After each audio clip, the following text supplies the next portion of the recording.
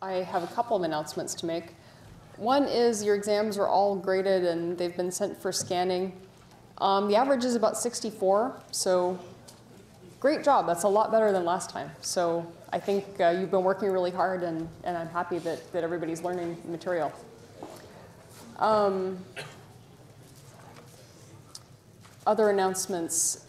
Next week is last week of the quarter. That means um, it's the last PChem seminar that you can go to for extra credit. So if you want to do it, that's the last chance. And again, those are due a week after the seminar. So that'll be the last one. Um, people have been asking me about the final. It is definitely cumulative. Everything is going to be on it. It's two hours, so it'll be long. Um, does anybody have any more questions about stuff like that? Logistics, the final? Yes? Will the final be about the same uh, difficulty as the exams? Yeah, the final will be pretty comparable to things you've seen before. I don't think there, there will be any surprises. Obviously, it'll be longer because there's more time and it, and, and it has to cover everything, but otherwise, I, I think it'll be pretty comparable. Yes? What are uh, cheat sheets? Any, how many cheat sheets? How many cheat sheets? One. Same as, uh, as before. Yes?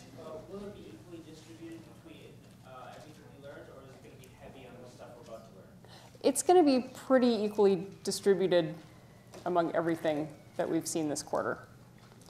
And I'm going to tell you why that is. Um, so PChem is really hard, and uh, it takes some time to understand some of the concepts, and not everybody gets it right away. I didn't hear that. Um, but so what really matters to me at least is what you know at the end. And so if you did really well on the final and you have happened to stink it up on one of the previous uh, exams, then that will be taken into account. So that is why the final is completely cumulative. There's sort of uh, equal amounts of everything we've learned. And, uh, you know, if there's a there's a distribution of what's what's worth how much, and that's the default situation. But if there's a situation where you know somebody did really really poorly on one of the previous exams and much better on the final, then that will be taken into account. This, um, you know, I, I pretty much always do this in PChem. Um, it usually affects a small but non-zero number of people's grades. So you know, most, mostly it, it's not, uh, it doesn't make such a big difference, but sometimes it does. So if you had a problem with one of the previous midterms, I really encourage you to make sure that you understand what you did wrong and be able to, uh, to do better on the final. All right, any more questions? Okay, let's uh, start talking about StatMech. All right, so in a way, this is a, a really big departure from the things that we've been doing. So so far in, in, in this quarter of PChem, we've talked about some aspects of molecular symmetry and how this relates to spectroscopy and how, how spectroscopy works in all its different forms and how we can use that to get structures of molecules. And the whole emphasis so far has really been on individual molecules and how we can determine their properties. Of course, we're talking about bulk techniques, Usually when we do spectroscopy, we're not looking at a single molecule. We have a whole ensemble of them. But we're ignoring that fact. We're, and we're fundamentally concerned about properties of one molecule, whether it's geometry or electronic structure or vibrations and rotations, things like that. And now with StatMech, we're going to make the transition to talking more about ensembles of molecules and properties that have to do with what happens when you get a whole group of molecules together. StatMech is a really important sort of bridging topic because this is what makes the connection between all of these individual level properties of molecules, the microscopic picture that we've been learning about, and the macroscopic properties that you know from thermo. So this is, uh, you know, hopefully a topic that, that helps to make some connections between how do we know this stuff on the, on the microscopic level, and how can we use it to tell us something about the bulk properties of, you know, things that, that we get from thermodynamics. Okay, so let's start with relating it back to a topic that we've been talking about recently, which is NMR. So in our whole discussion of NMR, I have mentioned many times that the population difference is really small. When you put your sample in a magnetic field, that breaks the degeneracy of the spin states and it- induces a population difference between spins that are aligned with the magnetic field versus against the magnetic field. And I keep saying that this population difference is really small, and that's why we need a big magnet if we want to see a stronger signal. Let's look at what else that depends on and see if we can quantify what that energy difference is. So, so far we just know that it's not very big. So here's an expression for the actual energy difference. So the big N's here are numbers of molecules. So this is the ratio number of spins in the state beta over the number of spins in the state alpha. And it has a pretty simple functional form. So we have this exponential. It depends on h nu sub i, that's its resonant frequency. So that's the Larmor frequency of our nucleus. And then in- the denominator, there's Boltzmann's constant and the temperature.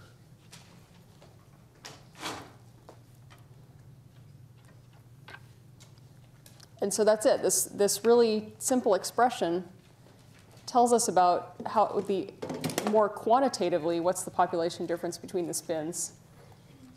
And the extra alpha spins are the ones that make up this magnetization vector that's pointing along z that we've been talking about manipulating in terms of NMR. And so this is why we say that in a normal equilibrium population of spin states, most of our spins aren't giving us anything. We don't have very much of an excess of alpha over beta. Now we can quantify that, and that also gives us maybe another parameter that we could change in order to uh, increase the, the sensitivity. So we know that this depends on the energy difference, which of course depends on the Larmor frequency, and there's a dependence on the magnetic field in there, so we can increase the magnetic field. We could also lower the temperature. Of course, the problem with doing that in a practical sense is that to really change the Boltzmann populations in an NMR sample, we have to make it really, really cold. We have to get down to, you know, millikelvin to really make a, a very big difference in the, the populations. So it's typically not, uh, not the most practical thing to do, at least in chemistry experiments. One thing I just want to mention as, as a little aside is um, so people who have done NMR in the context of organic chemistry, have you heard of a, of a cryoprobe for enhancing sensitivity? So that's a, that's a cool NMR instrument that people want to have. And a lot of times, people who are using NMR as a technique see this and they say, okay, we have a cryoprobe for enhancing sensitivity, and they think that what that's doing is cooling down your sample and changing the Boltzmann, uh, the, the, uh, the Boltzmann factor. It's not. What that's actually doing, your sample is still at room temperature. The electronics of the probe are cold. And so that's just reducing thermal noise in the electronics. So that's how a cryoprobe works. It has nothing to do with this at all. It's just increasing the sensitivity of the instrument by reducing thermal noise from random motions of electrons in the, the electronics themselves. Okay, not so important to StatMech, but I just wanted to mention it because it's, uh, it's something that comes up. Okay, so here's an expression for our magnetization vector in terms of the Boltzmann constant with all of these factors in there. So we have n, which is the number of spins. Of course, that's going to be important. If you want a larger signal, you can put in a, a bigger sample or a more concentrated sample. We have this factor of gamma squared h bar squared i times i plus 1. i is uh, the quantum number of the nucleus. And then again, we have this Boltzmann constant and the temperature in the denominator. So this is kind of our, our first view of an example of what do these population differences look like. And I'm going to sort of go back and forth between talking about fundamentals of you know, probability distributions and things like that, and also showing examples of kinds of things that we've seen before, and then we'll tie the two together at the end. Okay, so here's what we're really talking about with StatMech. And let's, let's make an analogy to our previous discussions last quarter and this quarter of single molecules.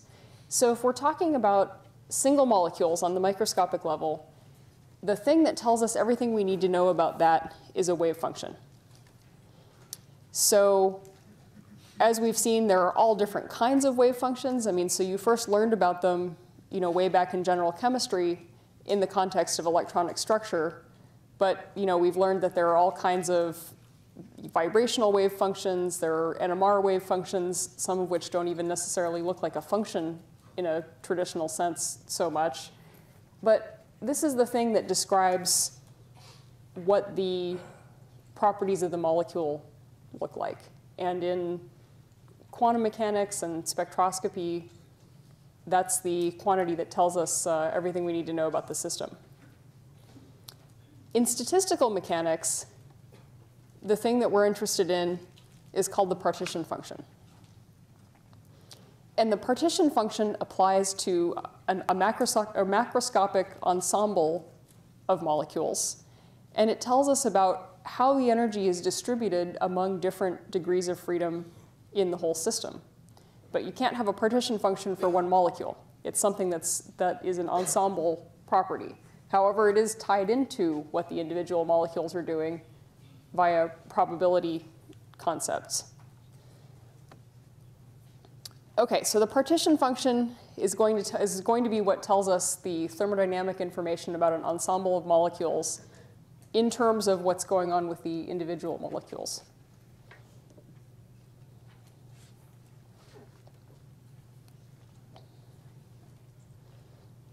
So let's look at what we mean when we talk about an ensemble.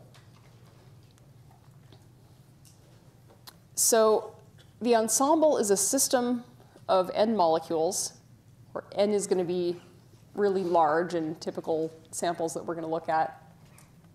And it has some total energy, which we can call E. And you know, again, as you've seen in uh, general chemistry and thermo, just uh, out of curiosity, how many people have taken thermo, either in physics or engineering? Okay, quite a few but everybody's seen the basics in general chemistry. You remember the kinetic molecular theory of gases and you know, how this relates to the ideal gas law. We know that if we have an ensemble of molecules, even though they're all identical, they don't all have identical kinetic energies or velocities or anything like that at particular points in time. There's always a distribution. And so all kinds of these thermodynamic properties that we're interested in, like enthalpy and the temperature and things like that, are all dependent on the distribution of energies. And our distribution doesn't look like a delta function. It has some kind of uh, spread out shape. And you know, again, from the looking at the uh, kinetic molecular theory of gases, we remember that if we reduce the temperature of our sample, we get a sharper peak. So we have um, you know, more of the, the molecules in the, the, uh, the minimum energy or the, the uh, maximum energy state. And we have more of the molecules in the maximum likelihood state. I should be, uh, be careful there. And also we have fewer that have higher energy. Whereas if we make more energy available to the system, the distribution not only shifts to higher energy, it gets more spread out. We have more diversity of, of states going on. We're going to look at that in more detail later. Another piece of information that is important to all of this is that collisions are important to redistribution of energy. So that's how molecules change their state. They run into each other, they run into the walls of the container. And uh, that's how energy gets re- redistributed. That's important because one of the things that we're going to look at is um, a lot of times in StatMech, we, we make the assumption that if we take a snapshot of a whole huge ensemble and look at the states of all the molecules and the distribution of that, that that's equivalent to watching a single molecule over a really long time occupying all these different states. And so you do need collisions to be able to uh, redistribute energy. Okay, so let's talk about our ensemble in a little bit more formal terms. So we have our system of n molecules, and the whole thing has energy E. But what are the individual molecules doing? So stuff is going to move around, it's going to change with time. But on average, there are n sub i molecules in some state epsilon sub i. How many states are there total? That depends on the specifics of the system. We're going to see some more specifics later on. But however many of them there are, the total energy, E, is just going to be the sum of the individual energies. Of course, weighted by how many molecules are in each state. And the total energy that we have can be partitioned among the various states. And that's why this thing is called the partition function. And for any particular system, the lowest energy state is epsilon naught. And we generally define that to be zero and measure the other states relative to it, because that makes stuff easier to deal with. Is it really zero? No, it's the zero point energy of the system. But we look at uh, the energy of other states relative to it.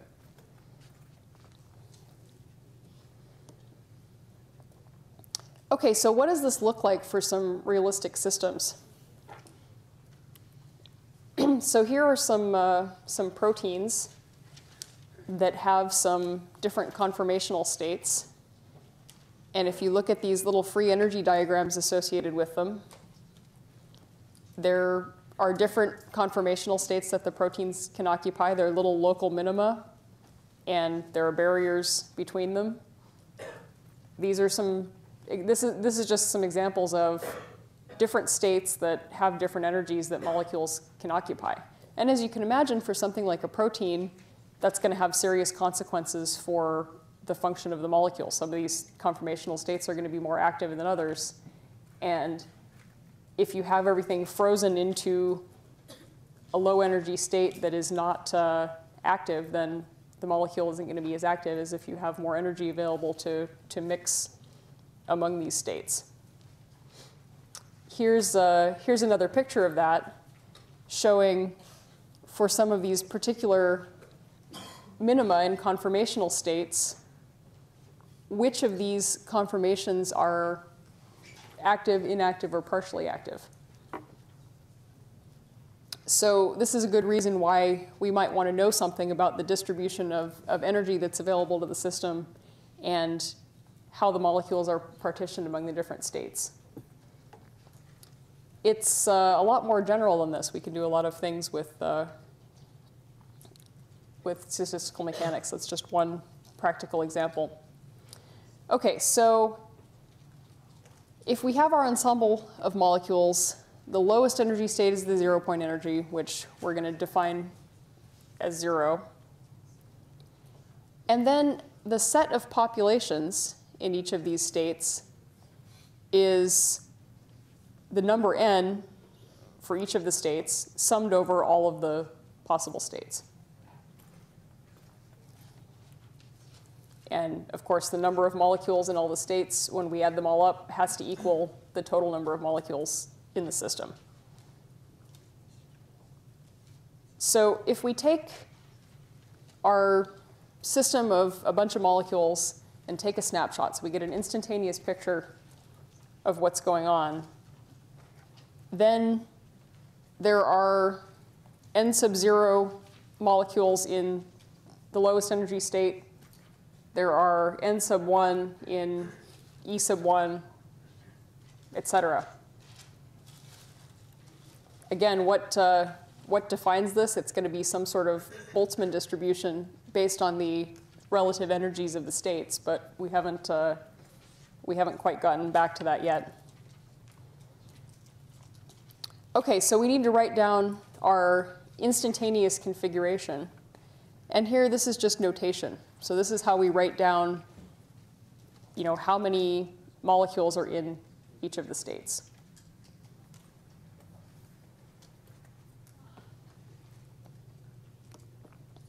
And this is an important thing to be able to do because the probabilities of the states are going to be, are going to come into account here. So a typical case is that a lot of the, a lot of times the lowest energy state is not necessarily the most populated because the degeneracy of it is low. So there, in many cases, it's non-degenerate. So there's only one way to occupy the lowest energy states, whereas higher energy states are going to have a lot more degeneracy.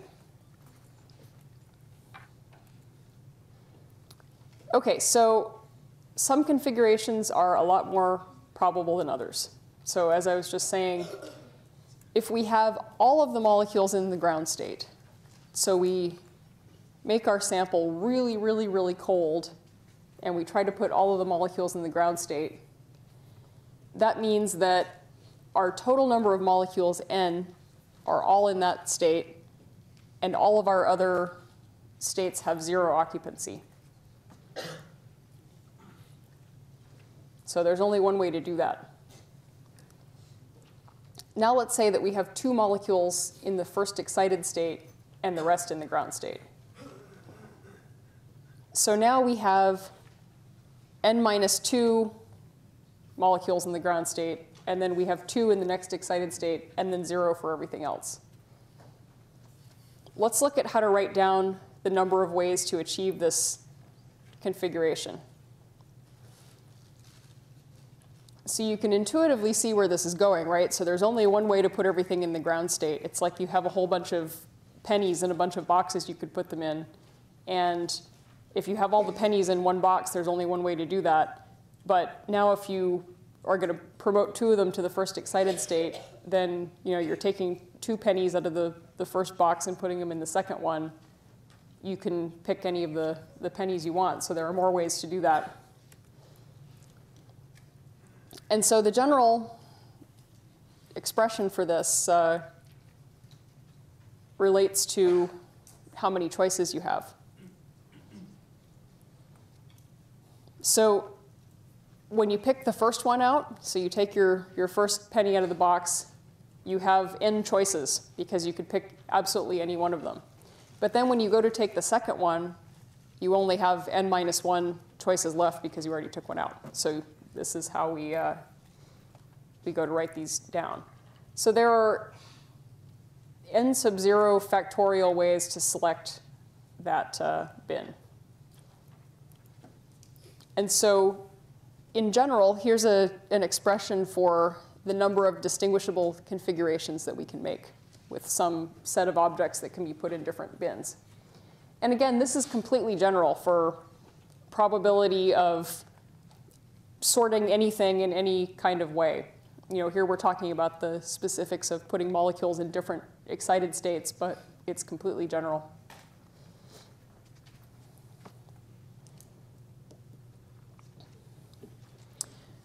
Okay, so another thing to remember with these systems of large molecules is that they're really, really large. We have, you know, Avogadro's number or, you know, even more molecules moving around. The system is fluctuating randomly all the time. And it's almost always going to be found in the more likely configurations. And so that's why sticking everything all in the ground state is really, really unlikely. So when n is large, stuff is almost always going to be found in the, uh, the more probable configurations. All right, so we can, we can look at the weight of a configuration or how likely it, it is to, to happen by defining the weight. So we already talked about this on the previous slide. Now we're just giving it a name. So this is the the number of ways that you can achieve a particular configuration, and of course, that's related to how likely it is.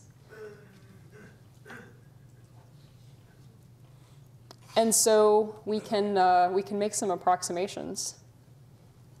So we know that uh,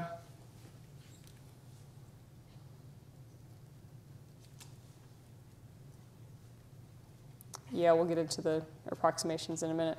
Okay, so just a quick sort of practice exercise.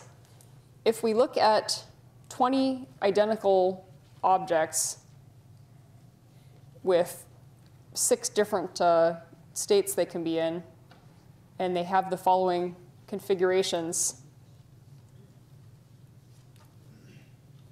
If you have a calculator, work this out and see, uh, see what you get. What you will learn is that the number is surprisingly large. So even for, you know, we only have 20 things, which you could imagine a, you know, a cluster of 20 molecules is really unrealistically small. You know, again, in the case of molecules, we're talking about uh, Avogadro's number, or even more things going on. But here we only have 20 molecules, and we have six, let's call them vibrational states. So we have stuff in the ground state and maybe five excited states. So, you know, a very small system in the chemical sense.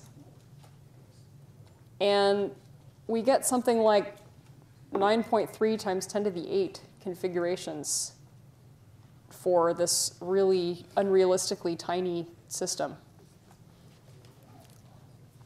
So this is something to remember when we're talking about uh, partition functions and as you're developing an intuitive sense for which states are going to be more populated than others.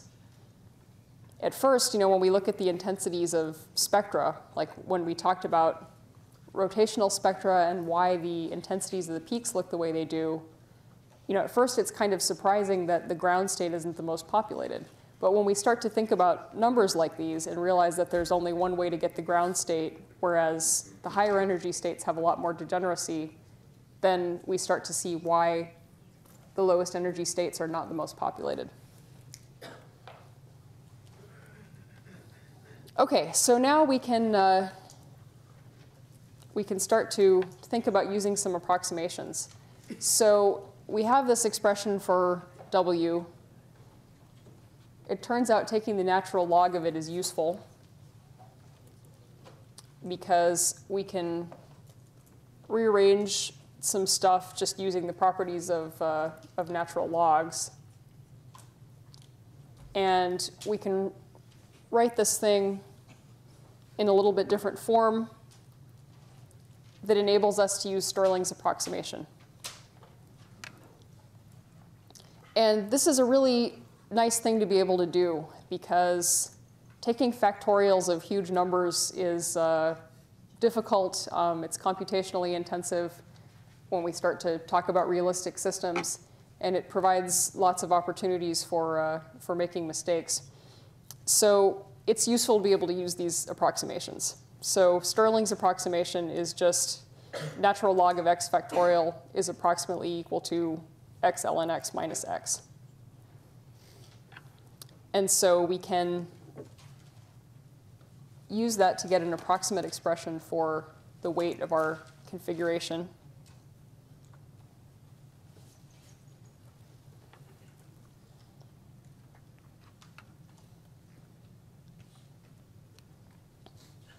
So again, this just simplifies things and makes our lives easier. And in, in the actual systems that we're generally talking about,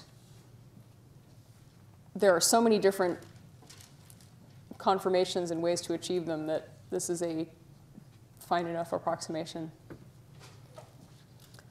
Okay, so now the next thing that we want to do is try to find what's the dominant configuration. So we said that the ground state is not the most populated because although it has the lowest energy, it's unlikely because there's only one way to get it. So how do we find the, uh, the dominant configuration? So to do that, we're going to want to maximize the weight. So we want the maximum likelihood of being in a particular conformation. And so we're going to do that by varying n sub i, the number of molecules in that, in that state i. And we're going to look for the first derivative of w to be 0.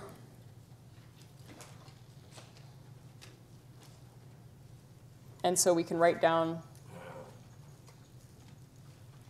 some expressions like this. So for example, we know that uh, if we add up all the, the total numbers of molecules, we have to get capital N, which is the, the total number that we started with. And if we add up the numbers of molecules in each state times the energy of that state, then we better get the total energy.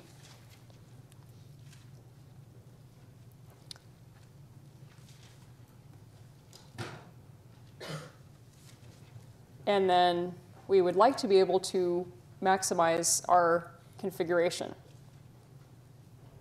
So unfortunately, we can't just set that equal to zero and solve for it. That would be nice and convenient. But it doesn't work that way because the populations aren't independent. So if we take, you know, if, if we take a, a molecule from one state, that means we have to put it into another state to do that. They all have to go somewhere. We have a limited number of states for molecules to be in. So the NIs are not independent, and uh, we have to worry about that. So you know, instead we just we're just going to uh, you know use a variable a variational method to uh, to maximize this. Okay, so what we end up with is um, solution where we have uh, ni over n is going to have these uh, exponential weights. And this constant beta determines the most probable populations. And beta equals 1 over Boltzmann's constant times the temperature. And I know I need to give you um, some practice problems for this material, but exploring the, these kind of uh, things is something that you're going to need to do in the homework so you can see how it works. But so what it comes down to is pretty simple and beautiful. So we have this, this parameter Boltzmann's constant that comes out of, of looking at these kinds of probabilities. And it also gives us another way to understand what the temperature means. So one thing that, that comes up, you know, when people take thermo for the first time is, you know, people say, oh, entropy is really confusing, and you know, this is something that that uh, you know ends up sounding really mysterious when you take thermo. I don't think so. I think uh, entropy is actually pretty intuitive. You know, that's just talking about the numbers of ways to get different conformations. The thing that's confusing is temperature.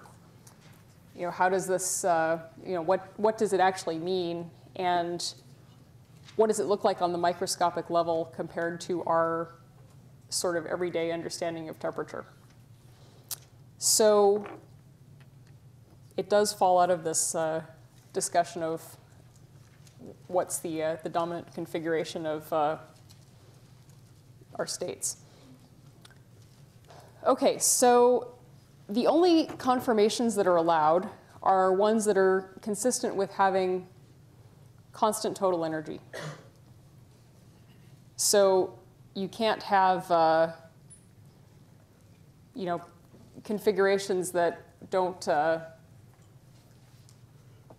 yeah, you can't have configurations that don't conserve energy in the same system. So that's another way of saying that if you add up the, the uh, number of molecules in each state times the energy of that state, you have to get the total energy out of that and the populations are not independent.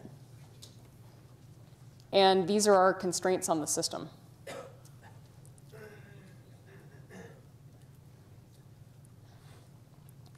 And so again, when we go to minimize our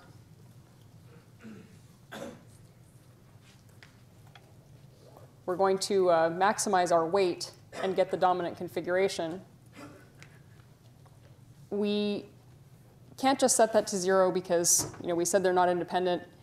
And so we need to use variational methods, like, uh, for example, you can use Lagrange multipliers, which uh, means you want to multiply your constraint, each constraint by a constant and add it to the whole thing, and then treat your variables as independent. Okay, so who has seen Lagrange, multi Lagrange multipliers and this kind of methodology before? Okay, quite a few, but not everybody. All right, I will definitely uh, come up with some practice problems for this. All right, so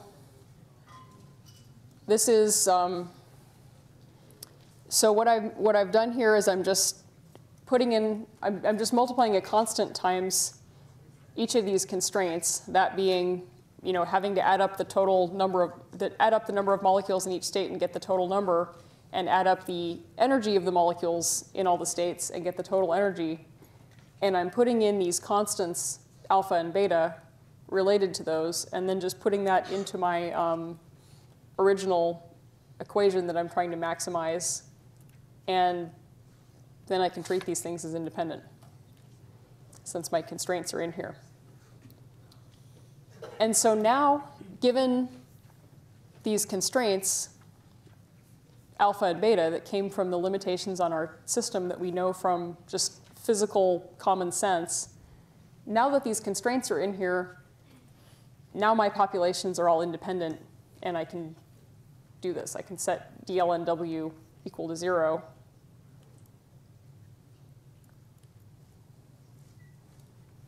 And so this expression is going to be equal to zero when ni has its most probable values.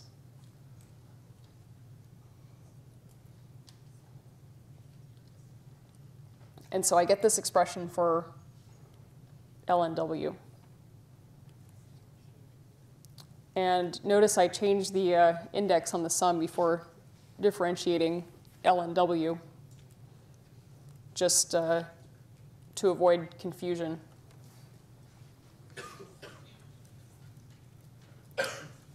And so then if we do that, if we differentiate it, here's what we get.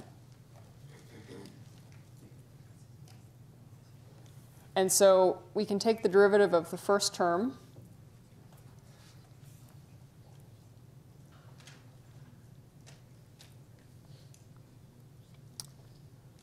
And here's what we end up with so far.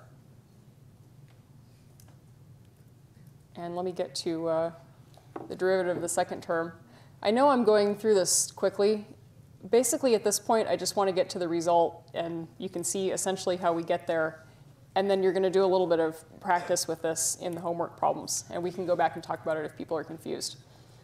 Okay, so so I changed the index on the summation so as to not get the differentiation variable ni confused with, the, uh, with what we're summing over. And so if, if uh, we get this situation where if i does not equal j, uh, dn j dni equals 0, and if it does, it equals 1.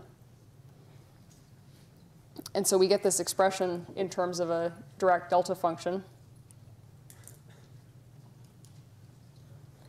And what falls out of the whole thing is this. So we had to take the derivative of the first term the second term separately. And so we get uh, minus ln n sub i plus 1 plus ln n plus 1. And so that just gives us minus the natural log of n sub i over n, which comes back to these things that we've been looking at that uh, we get as a Boltzmann distribution.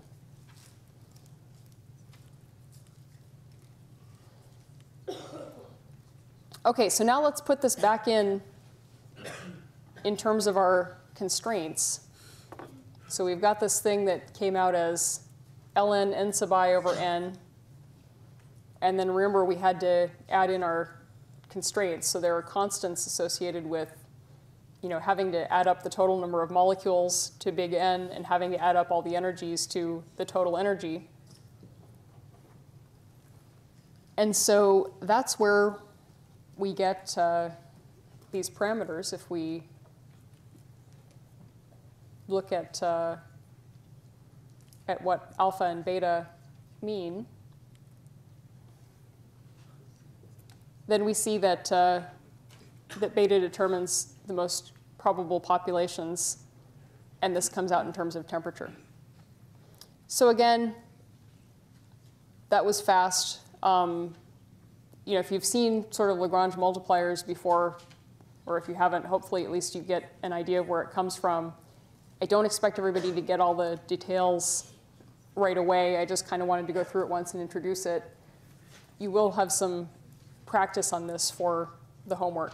The really important thing to take away from it right now is the result, and that this is where the Boltzmann distribution comes from. Okay, so here are our relative populations. If you have, if you want to know how much of the, the molecules present are in state I versus state J, we take the uh, ratio of the, these Boltzmann factors. And so what we can see right away, and the, the take home message is that the relative populations of two states falls off exponentially with their energy difference.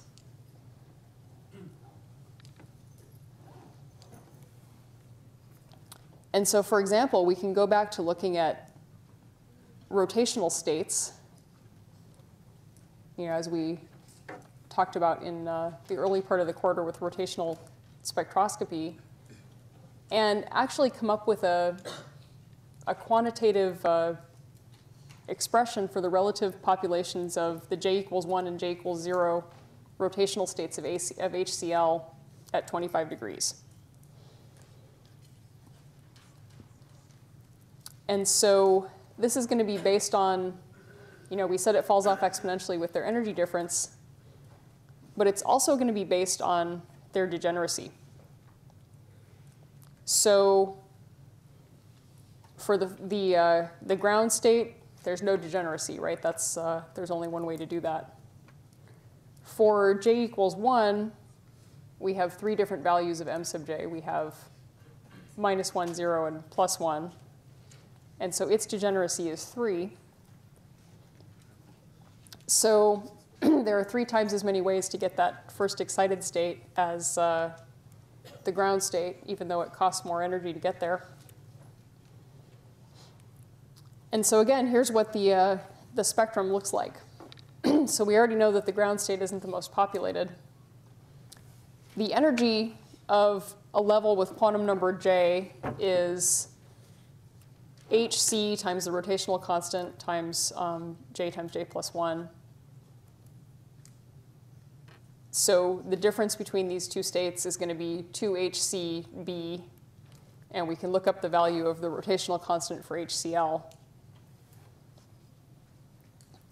And so at 298 Kelvin, we have to make sure to put these things in Kelvin so that our units work out. We get about 207 wave numbers for this factor kT over hc.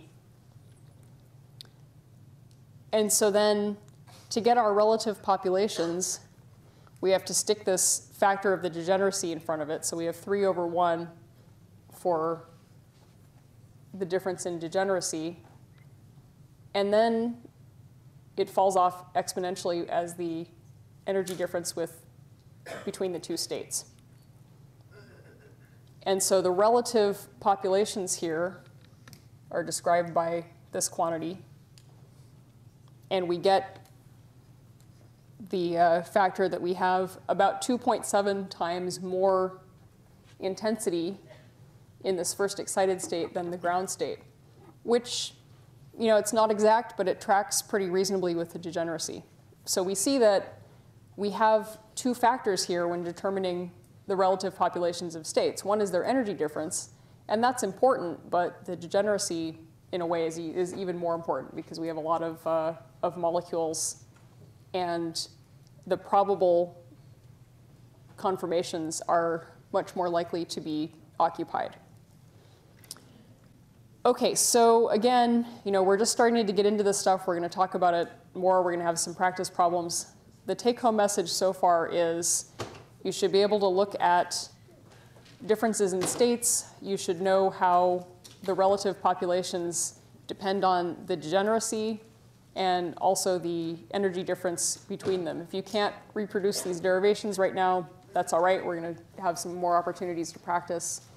Um, the main thing is just knowing the result. Um, we're going to quit there for today, and I will see you next time.